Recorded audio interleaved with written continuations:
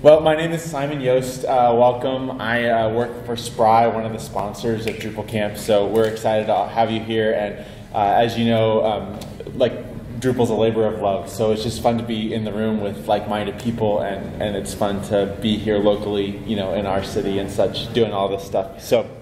Um, I've been doing Drupal stuff for about 12 years. So what that meant is I started with Drupal 5, and what that meant is people thought I was crazy at some point, right? Because it just was very, very arcane at some point. We've come a long way, um, thank goodness. But uh, we've been doing this for a while and um, uh, done several different roles um, in Drupal projects. Uh, I've been inside agencies, uh, building sites for clients, inside organizations, building sites for the organization. Uh, so I've been on both sides of that. Uh, most recently, I've also helped teach front-end development at Washington University here in St. Louis. And so hopefully this talk today gives a little bit of perspective to a lot of the team that, that makes up a Drupal project and not just one perspective. Um, so we've also been, my wife and I have been in St. Louis for nine years. We love St. Louis, so it's just fun again to have something like this on our home turf, so to speak. Uh, excited to be here.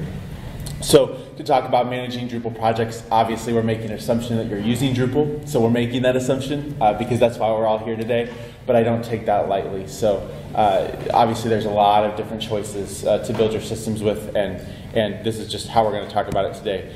So if you are choosing Drupal, then you're kind of picking a way, and I talk about it going with the grain. So if you're using Drupal, uh, you know you could um, just use it, I guess, for like user authentication, and then do everything else um, outside of core or with custom stuff. But uh, oftentimes you're, you're, using Drupal to do something uh, that you, you couldn't do um, from scratch. So uh, we're going to talk about that today. We're going to assume that we're going with the grain of Drupal and kind of talk about um, going from that perspective. And so um, I think that there's a few things to keep in mind about why we're going with the grain of Drupal. Uh, I think it helps us clarify project goals and outcomes. So we're not starting from some anamorphous place. It gives us some context of why we're starting.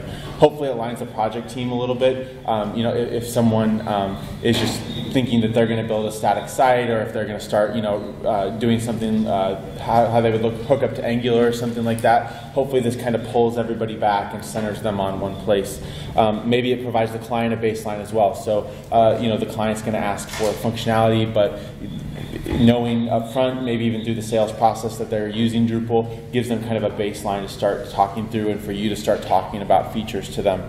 And then hopefully it creates efficiencies. So, right, that's the whole goal of why we would use open source software and why many of us are excited about Drupal 8 is that it creates some efficiencies that we wouldn't get uh, without a, a, system like that. And so then as the nature of project management goes, we need to somehow quantify projects and um, and split them into pieces to do so. Some, some way to kind of uh, not only wrap our heads around the whole project, but get into some different slices. And so um, I've been uh, trying for a long time to kind of find the right mix of how, how do you slice this stuff up and how is it relevant from the beginning of the project where you're talking about things with the client and your team and, and you have a pretty blank canvas, so to speak, all the way to the end uh, to even what we talked about during the keynote of where when you're documenting, testing, shipping, uh, and then even after launch, how, how can you talk about stuff in one way so that you have um, a great lens, if you will, to speak through all the way through the process. And so, again, the question becomes how do we divide it into pieces? And I call these uh, systems, uh, I, I, probably need a better word, so if, if, anybody has a better name for this, that's fine. Things like features and everything is already taken. Um, but this is my answer to building Drupal sites with the grain, so to speak, and that you're assuming that they're going to grow and change. So I talk a lot about um, building sites for like one year out, day 365, right? You, you're not just building a site for launch date, you want it to be relevant and you want people to be coming back to it. Um, a, year or more later. You also, and maybe this is inferred, but you want the client to be using it because they have to make the content, right? You actually need people to be logging into the system and using it. Um, it's not just going to be what it is at launch and then they don't touch it again. So uh, that's kind of the, one of the metrics of success that, that I think through when we're doing projects and, uh, and kind of intuitive in all this stuff. So, I mean, a crude comparison, right, of these, these kind of things that we're building for projects is a city, they have some kind of infrastructure that's, that's rigid and some kind of then dynamic organic piece as well. So maybe this is why all of us fell in love with SimCity back in the day, right? You could kind of try to pick your pieces and kind of see what happens. And obviously you have many different results. So let's dive into what I'm calling systems and we'll get really specific on that. If, you know, you can mention me on social media if you have any better names for what to call this. I'd be really um, I, I love ideas, but this is what we'll call it for today. Uh, so what I'm defining a system is is a way to collect and marry user-facing and administrative functions, things like business requirements, user stories, content, UI design, and back-end functionality. So we'll kind of go through different examples of what all those are in a minute, and obviously everybody's uh, interacted with those a lot. Um, but you know, business requirements, you're doing rules. I think this incorporates clients' best practices. But a big one, right, is customer interaction. So if you're doing a shopping cart feature, you really need to understand how uh, clients or customers, constituents of the organization interact with that organization, and, and this is where to capture that. Um, user stories. We, we, we talk about user stories because it matters what it what the system is going to be complete. What does it look like when it's complete? What's the, the desired result or the preferred future? That's one of the things we can capture with user stories. Uh, content's really important. This is kind of coming from a content first mentality of we need the content to do something, not design something and then wait to get the content later. Uh, UI design, obviously, we all got this. We can make pretty pictures with Photoshop or however we choose to do it. So, so that's pretty straightforward. And then backend stuff in Drupal speak, content types, blocks, views, custom modules, the list goes on. So uh, before we get into that, let's look at why not build uh, things a certain way really quick. Um, and again, everybody has their different uh, idea of how to organize this stuff, so there's no only one way. But um, we'll look at really quick maybe some of the disadvantages of using just screens or comps to think about something. Um, wireframes could fit into that category as well. Maybe there's some also some downsides to just thinking through a module lens platforms and integrations. So we'll use this very nice square to uh, represent our project really quick. And again, the question is, how do we break this into pieces? And so if we just start with the idea of screens, we get you know one nice little column there going across the side. The rest of our project definition is still pretty anamorphous. And we could put some thoughts to that, but there's no real um, label language swath across the whole thing that we can use to talk about it um, in terms of one piece. We're always broken up by the design and then everything else. Um, maybe you could talk about your, your site in terms of modules, right? There's great modules and, and uh, core modules as well as contrib modules, and then your custom modules in Drupal, and those are very important. Uh, but you get modules that are coming through a lot of different uh, layers of the project. You might have some modules that go all the way through to the UI layer and almost um, demand the user workflow, right? And then you get other modules that uh, aren't even going to uh, bounce up into the theme layer and are just going to sit in the background and do things. And so, uh, again, that might be a way, but it leaves a lot of open spaces, uh, and it's hard to talk about anything kind of as a whole. Um, we can talk about platforms, right? So maybe you might use um, something with like Civi CRM with Drupal or Salesforce and RedHen with Drupal many other uh, ideas of that. Um, and then you kind of terms of like, okay, this part of the project is Drupal, this part of the project is Civi or Salesforce or you know what have you, and and that also just kind of gets you to large chunks, and you need a way potentially to get more specific. Um, and then if you're dealing with integrations, especially if you're using Drupal for a lot of things, you're just going to kind of end up with bits and pieces here and there, uh, not something uh, potentially that is able to get a, a, a, chunk of your project, a slice of your project that is reusable.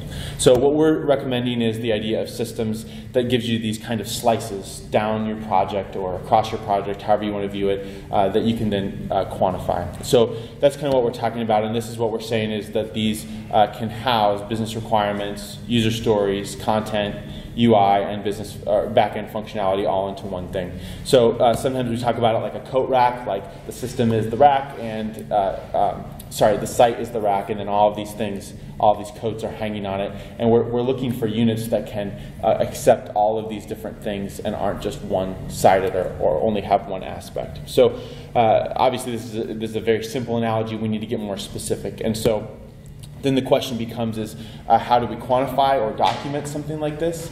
And so this is where it starts to get tricky because you're dealing with people that have a lot of different um, learning styles and a lot of different thought patterns. It's really easy to become rigid here. Uh, even in the keynote we talked about reusing functionality and that's a great uh, um, byproduct of open source and a great reason to, to commit to open source. But we need to kind of have uh, uh, an idea of here of, of how open are our hands? Are these things that we're just, you know, uh, photocopying and just reproducing left and right, or these things that are a little bit more organic uh, and so, how we talk about this uh, sometimes is using like a pie recipe. So, this is not Sara Lee out of the freezer section, right? These are uh, good homemade pie recipes. You might recommend it to someone, uh, as with anything that you know, you might know a friend that has a specialty that they, they cook or bake. Uh, it's going to be a little different every time. They might use a few different ingredients, but you know, they might be known for what they, they make. And, um, and then also that you have different kinds of pies in this case. You could do this with any kind of uh, recipe, but that, that you're not, everything is not the exact same. Um, and yet it can be intentional with some kind of thought and, um, and replication. So uh, then what makes that recipe up? And so these are the things we're going to look at here for a few minutes is what are some of the things that you could add to one of these system definitions to actually make it helpful and specific.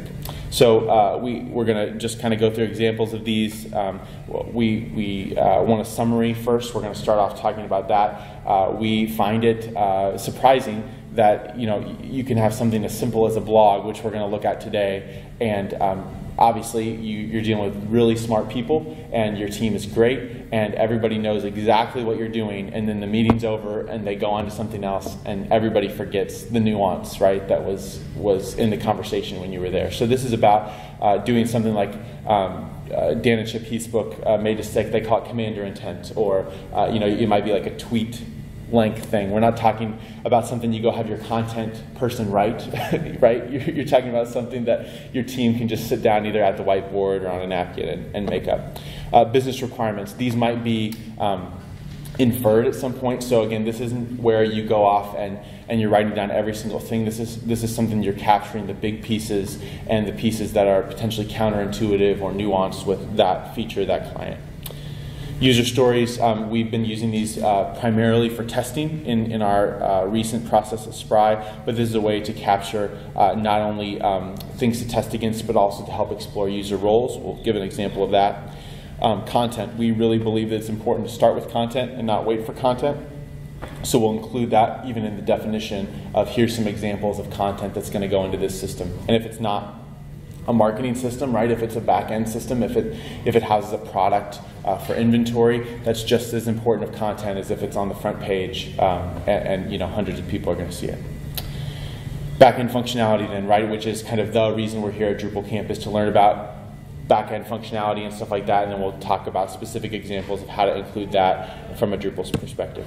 So um, we'll go through and use the um, the Spry blog as an example. So um, there's a, kind of a widget here on the homepage of the Spry blog that has um, a blog roll, if you will, and that houses, um, you know, in Drupal speak, this would be like a block view, something to that effect, and then um, you would go in and then you would be in one blog post, obviously. This is the simplest example of a system, and so we'll use this. Uh, hopefully, everybody understands what it is right off the bat, and we'll just talk about how we can quantify it and, and write it down. So, um, the first thing we would give an example of is this kind of summary thing we talked about, and I use words uh, like this an index of posts published by such and such organization that gives context to recent news and events. It sounds really simple. Let me go through some of the reasons why I think this is important. Um, an index, you could use whatever word you want to. That's my word that clues our team into. We decided to use a dynamic system and not just one free for all page. So using a content type, whatever you want to call it, um, that we're going to use something like that uh, with content types, views, that kind of stuff, and it's not just going to be one uh, free form page. Um, that, that's a word I use to clue our team into that. Um, I think the published by the organization, uh, this is important. Like you're, you're trying to uh, say right off the bat, like, is this content going to be, uh, you know, long form blog post, something like that, that someone's going to write on behalf of the organization? You know, some people have blogs that are like they shoot out to articles that are written on other sites. Trying to capture that right here, you can use a couple words to do it, and it really adds clarity to what we're building. Um, and then again, maybe the context of what we're talking about, recent news and events, or something to give the team and remember, okay, here, this is what we're capturing, this is what the content's going to be focused on. So that would be an example of a blog summary, super easy. You can write it in your sleep. Having it written down, we think is really important. Um, business requirements. These could be things like public facing, um, uh, blog to anonymous users, right? It's really important that you're, you're trying to denote the audience, make that clear, um, and help understand how that interfaces with user roles because in, in our world, user roles and, and stuff like that is part of requirements. We, we want to list the author's name and, and photo, potentially with the post. Uh, this is, again, an example from Spry. Um, sometimes that gets confusing. You know, are we going to be able to see things by author or not? And just writing bullet points down like this right off the bat give us really um, important information that we need. Uh, this is again kind of gets into a little Drupal speak. We want a landing page a full post, so we're not going to do teasers in this case, filtered by published and sorted by post date descending. Really quick sentence. Uh, if you're building a view, it gets you 95% of the way, right? So uh, it's a simple sentence that can really help add clarity. Um, this is an example. Maybe you want uh, a blog post approval system, or maybe the client doesn't, right? It, it could go any way, a number of different ways. So noting that right off the bat, is this going to be uh, every user for themselves publishing things? Does there need to be an approval system? And at this point, maybe all you need to write down is yes or no, unless they have a really specific detail for that. Uh, and then out of that, things like we're going to provide a blogger user, someone that's going to be able to get in and write a post. We're going to be able to provide another user role that helps um, approve those. Really simple stuff, but just listing it off the bat, um, it could be really helpful uh, to keep everybody going in the right direction. So as we continue to get to the point where we could actually build this and define it for our team well enough to actually execute, um, we bring in user stories at this point. And our goal is really simple, is to try to make a note of a task that the user has to do. Uh, and, and for these kind of marketing sites, we include reading text because that gets into the fields. Um, and then also the, the result of those actions. So just really simple. Um, we're doing things like display, H1, or post title with the date, author, category, and the WYSIWYG body field. So obviously that's really clear, and then we're trying to add the user role to that. This would be anonymous user. Um, there'd be a ton of tools you can make these user stories in, right? This is just an example of kind of a card uh, layout of these. Um, another user story that we might add would, would be that we're providing uh, sharing links for Facebook, Twitter, those kind of things. Um, maybe we're going to create an unpublished post to modify the uh, title, date, author, category, right? Because we're going to split up those two user roles so the blogger doesn't actually publish it. And then we're going to make another uh, card for the review, approval, and publishing of the posts uh, for that other blog approver user.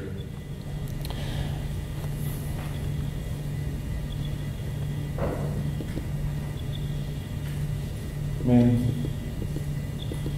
So these would be examples of user stories, and uh, again, the complexity is up to you. Uh, we've, we found that these work really good for testing and they give a really great lens on what the goals of the page are. Uh, there's a lot of assumptions that people might make through just looking at comps or wireframes, and this makes it clear in another way that we found very helpful.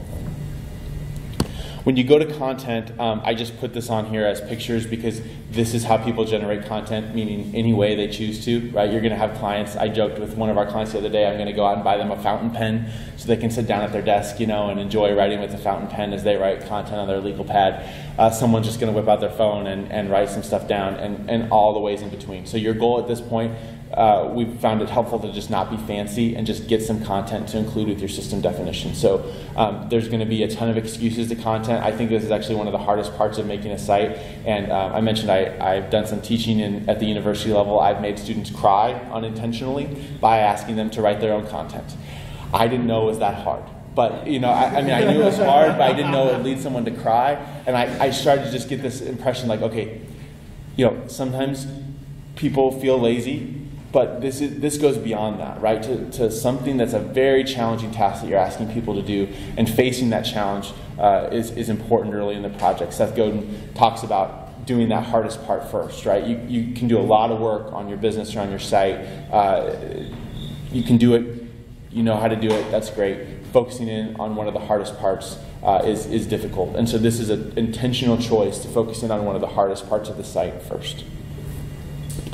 Uh, UI design, we got this, right? So no instructions needed here. Everybody, this is everybody's favorite part usually, whether you're doing uh, hand wireframes, using the whiteboard, doing comps, you know, however you get this out. Uh, every shop seems to have their own way, and there's no right or wrong way, but including these kind of things in the system is, is obviously helpful.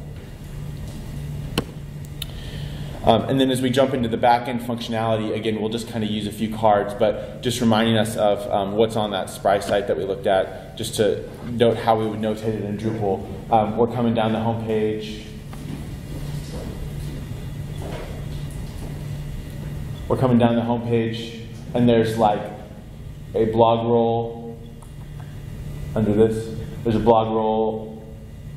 I think this is the wrong video. Anyway, awesome. Um, but anyway, there's a blog roll halfway down the whole homepage. There's, I think, five posts that are shown. Then you can link into the full blog. Also in the menu up top, right, there's a, a, a blog post link in the main nav. Very traditional. We've seen it a hundred times. So how might we notate that for Drupal? Um, this is, again, pretty uh, straightforward. Um, but first of all, we're going to start with the content type. Again, your teams might find this duh, and it might be in your shop that everything's a content type or nothing's a content type everybody does it different, uh, but just noting, okay, we're going to use a content type for this, writing it down, or not, we're not going to use a content type for this, however you want to, right? But just writing that down is really important. Um, then uh, we might want a block view on the home page. So just noting, okay, we're going to have a block view, block view of post teasers, filtered by published, sorted by post date. And it's not rocket science, but again, if you're sitting down to build the view, get you really close. Um, page view, uh, full post, filtered by published, sorted by post date, descending. Not rocket science, but if you're sitting down to build a view, right, you almost you almost have this this thing built. And then um, a node display of a single post. So again, you might use the node uh, TPL, you might never use the node TPL, you might do like a an argument in a page view. There's a ton of ways to render this stuff, but just writing down how are you going to do it, um, stuff like that. This also, I think, is helpful if you're not going to use the node uh, TPL level, right? You, are going to want to get rid of that somehow. Somehow you're not wanting people to get to that node level, so that's a great thing to know uh, starting out when you're building things. So um, the other things that you might want to include um, are uh, post tags. So this might be a taxonomy in Drupal. Again, it might seem really simple and straightforward, but um, uh, sometimes our folks really explicitly want things to be multiple taxonomies. So they want a taxonomy, for example, for tags in this case, and they might also want a taxonomy for categories in this case. And uh, having a discussion, should that be the same taxonomy, different taxonomy? Are we going to those taxonomy pages? Uh, it, it, might be a five converse, minute conversation, or again, your shop might do it one way every time, but just making sure to make a quick note of it, insanely helpful. Um, you might note then things like integrations. We talked about that this system should be able to house a lot of different types of components, integrations. So again, in this case, it would just be an Instagram embed. Maybe in other cases, it's a YouTube embed or other things like that and then also something like a share this integration, which is potentially a site-wide integration or not, right? Depending on what content types you want to have it on. So just noting that, uh, right? I can't tell you how many times we've had to share this thing on some sidebar randomly, unstyled with default icons, and everybody's like, I don't know but they, you know, no one's made a decision about this. So just making a note of it really quick uh, is really helpful. So again, uh, this is not rocket science, but just defining these things. There might be more, writing them down uh, in a way that works for your team, and having them all there. And what we found then is the, the most important piece is that this kind of provides a bunch of different lenses to look through. Uh, the center point of this shape being, being what you're actually building, right? And this is trying to get some kind of alignment. So having these conversations or each facet, each bullet point that we talked about, business requirements, user stories, all that kind of stuff, gives us more clarity on what we're building so that we, we, we have a pretty clear idea of it. Um, uh, the client might just see part of it, right? So the client might approve things. You might talk a lot about stuff while they're approving those deliverables that you've decided that they've approved. Other deliverables might just be for your internal team. But with all of them combined, hopefully you have a, a great idea of what you're building. And so uh, the only way that this analogy breaks down then of the geometric shape is that uh, we're not going to do precise pieces. This, there's no one size fits all kind of a thing. And so the last uh, aspect of this I want to talk about briefly was scale. So there's going to be systems like a blog that um, whether you want to measure the scale uh, in effort, time to build, or in user impact, however you want to talk about size, uh, there's going to be some things that are relatively small and some things that are much more uh, complex and large. And so, um, one of the things that we want to make sure to to talk about, um, because we're dealing with people a lot of times and developers that are very precise and specific, is that uh, this is not a one size fits all situation. And so. Um, we're going to do things that are um, appropriate for the system, appropriate for the client, appropriate for the project, that and, and, not just to fit things into uh, a, a, precise uh, unit of measurement. So this uh, systems idea isn't meant to be uh, a one-size-fits-all kind of uh, situation. So these things could change and morph into different sizes, and that's okay. Um, you might spend uh, four hours on one building one system and four weeks building another, and that that's okay. what we're not trying to do is, is to fit everything into perfect units. What we're trying to do is describe this stuff in a really clear way so that everybody knows what they're doing.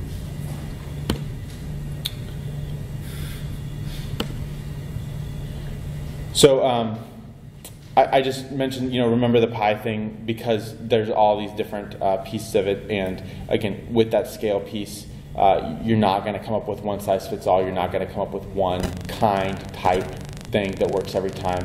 Uh, but hopefully that these are reusable things that you can uh, save parts of, maybe uh, either whether it's through uh, Drupal uh, features in Drupal 7 or code definitions in Drupal 8 or, or just um, kind of oral tradition in your shop that you're able to reuse these concepts and then move more efficiently together as a team in the future. So I think that's the big part of it, the why. Um, and, and building something that's going to last uh, for, for several uh, months after launch and not just for one day. Uh, just to kind of give a little uh, end with a little thought of like what systems we use. Um, I, I, did I wanted to make this neutral and agnostic as much as we could. Um, we we do these summaries on whiteboards, on napkins, on notebooks, Google Docs, things like that. There's nothing fancy about that, obviously. Um, we've been just doing business requirements and documents. Again, there, there might be better ways to do it uh, for your team, but we're not trying to do anything fancy here. Um, we, we've started using Trello for user stories, if that's helpful, just to get that kind of column idea. Uh, that's been very helpful for us. Uh, we're still working on content, right? The, the ideal is, is that if you include content in your system definitions, that you could even just use uh, the site, the development site, to collect content uh, with specific user roles. And obviously, that's an ideal, and it never quite works that way. Uh, so, so I think we're still looking for the silver bullet on that. Uh, we present uh, design comps and wireframes with InVision, and that's been really helpful for our team. And then um, backend functionality is kind of the task management system of your choice. Some some people run their projects, you know, through user stories, through tasks, or none of the above. And however that's helpful, um, you know, we, we again have those kind of cards on the slide earlier that were things like a block view, a page view, a building out a content type. Those might be checkboxes, those might be tasks. However you all do that, uh, that's going to be fitting into your team rhythms uh, the best. So, so that's the thought. Um, got done pretty early. Questions, comments, ideas that you've had. I'm sure people would love to learn uh, if there's anything that, that would be helpful to share as well. So. Does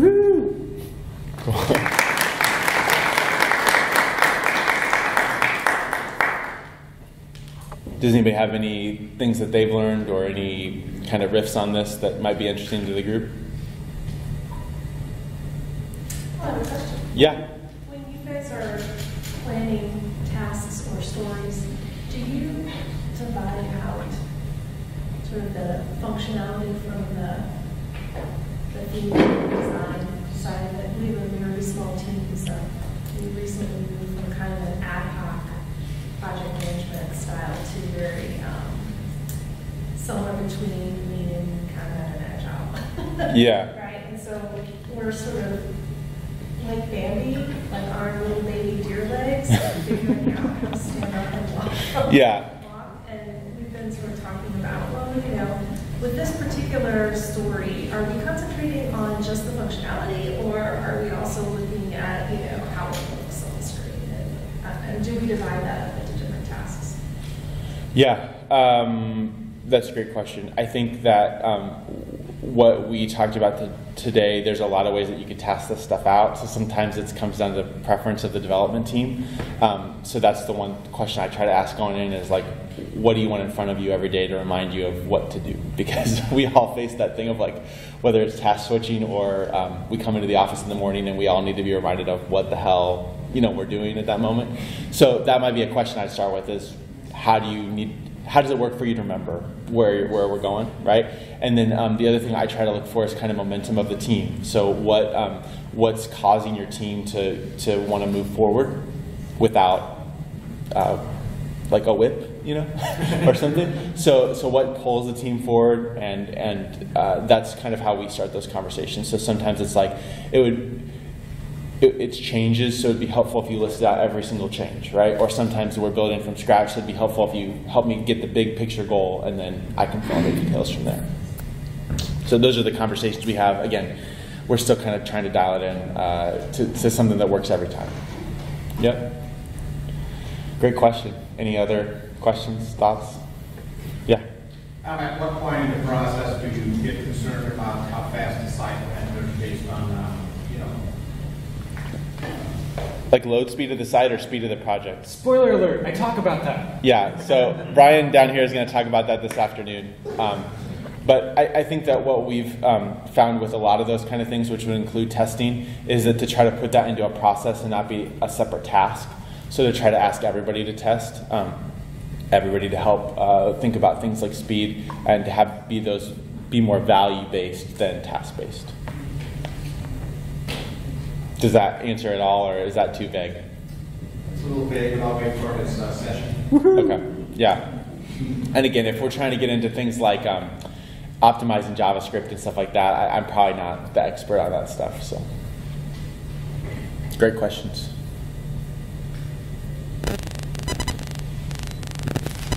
So you gave a reference to that one student that was talking about uh, content. Yeah, Um, What words of uh, advice do you have about just content in general? yeah, Um, Because that's always a big one in terms of showcasing, you know, what content to start with or what, you know, kind of recommendations, I guess. yeah.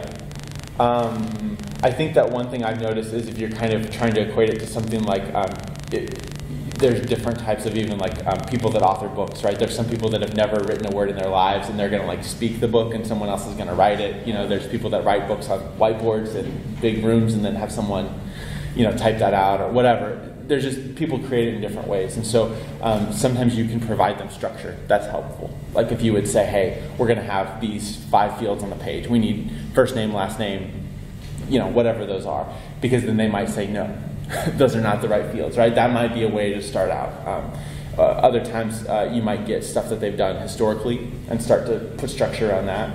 Um, but we've just found it helpful to just try to get in the mess with folks and and try to again kind of force the issue early is the best um, is the best way we found uh, to do it because you almost face the same issue every time. It's just how much you want to delay it. Uh, so all of this is with in mind is like if I um, expedite this issue during discovery, and if they're you know frustrated at me uh, during discovery, and if I'm feeling annoying at that point, then I can back off, and they have a long time to think about it, thrash, process, write, whatever they do. Um, versus if I wait till the end, then site's probably delayed.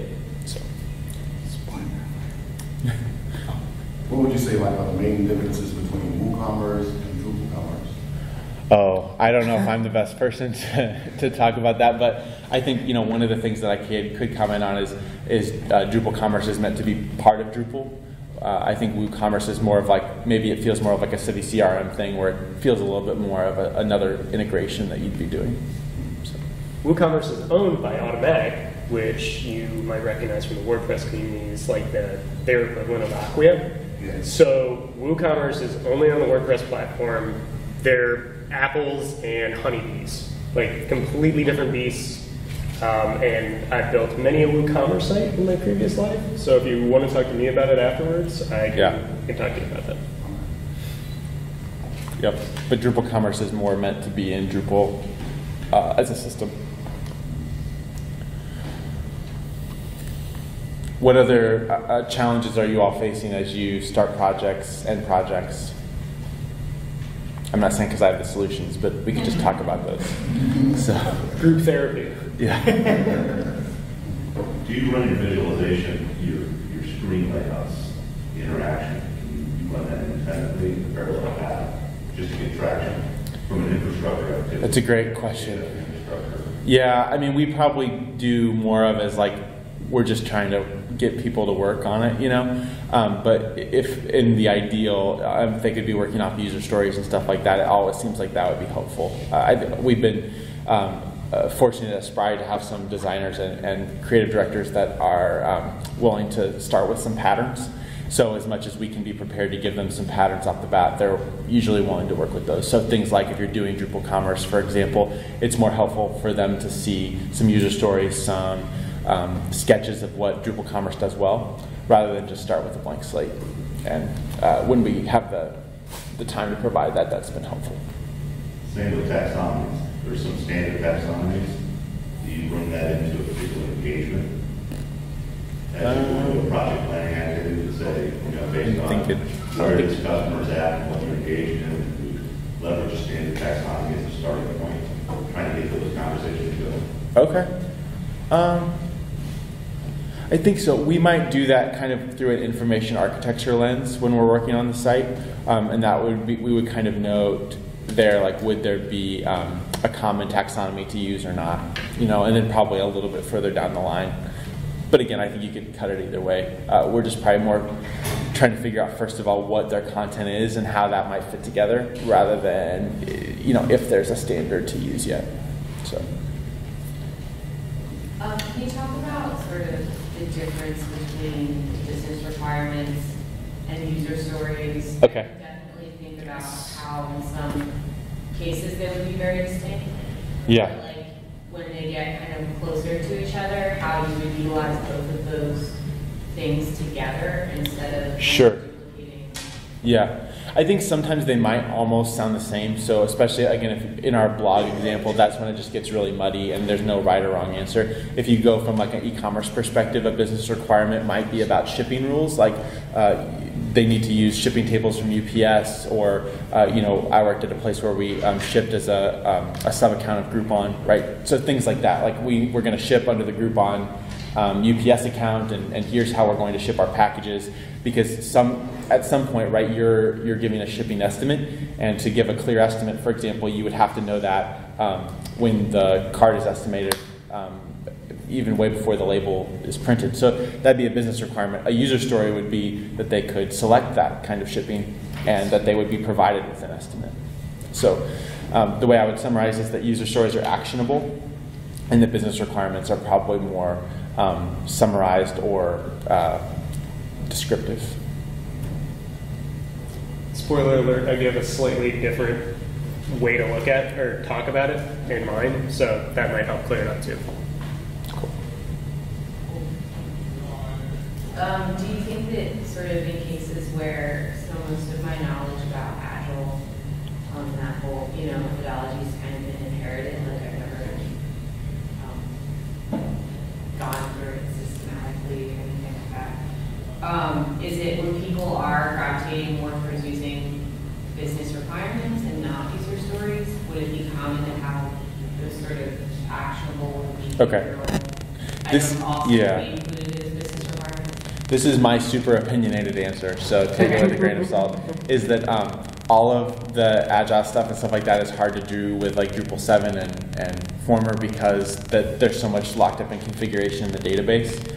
So when we're doing an Angular Node project, we can be way more agile than when we're doing a Drupal project right now. And so, um, you know, obviously some of us have tried with features in Drupal 7 and then we've cried a lot. Um, but uh, you know that's where Drupal 8 might be strong. Um, is that since more of that's locked up in the um, in a potential code definition, maybe that's possible. And then keep in mind too with your um, with your integrations, you know that sometimes you have a system where you can look at the integration almost as content that's provided to you, which is helpful, but sometimes it has just as much configuration or more as Drupal. And so that's another thing that makes the feel dependent, sorry, the feel different on if you can um, work agilely, or if you kind of have to work with the grain, which is kind of what I was talking about in this. Like Drupal has a way still, if you're in seven or earlier, if you force it, it'll break. You know, so that's kind of one of the assumptions, and and then we're all excited about Drupal 8. I think I am. So, great questions. Any other ideas, comments? Okay. Well, I appreciate everybody's time, and it's fun to be with you this morning.